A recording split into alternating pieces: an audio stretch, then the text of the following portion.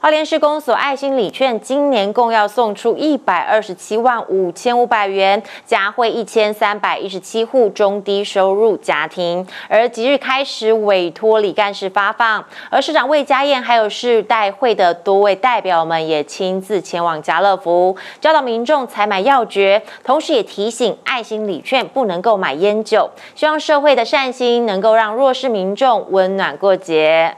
从爱心围炉餐会到爱心年菜，最近几年改成发送爱心礼券，让弱势家庭能够前往大卖场采购自己需要的年货。这是华联施工所集结各界爱心所推动的年节关怀政策。为什么会换成爱心礼券？哈，那呃，缘由是因为其实我们每一次在发送我们的年菜的时候，其实有的时候他可能呃一户后可能就是一个人，那他可能会吃不完。那其实现在换成礼券的这个方式后，那可以他自由的采买想要吃的东西，那也避免到浪费后，那他可能想要采买的东西也不一样，那就用这样的礼券的方式后，来换给他们后，那也希望说他们能够在年节的时候后，不管他要吃什么，他都可以去做自由的一个采购后，那其实这一次后也我们的总金额是一百二十七万后，那总共会发放我们一。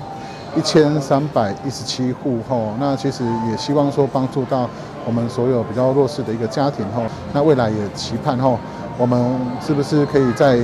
这个金额上面后能够多增加，让大家采买的这个部分后能够多一点更丰富的一些资源后。花莲市民代表会也全力支持这项政策。首先要先感谢啊我们花莲各界人士对花莲市公所办理这样子的一个活动的支持。那也非常感谢魏家燕市长啊，非常呃努力的来推动各项的社会福利政策，来关心我们地方的弱势家庭。那在代表会这边也都会全力来支持像这样子一个爱心年菜的活动，让我们花莲市越来越幸福。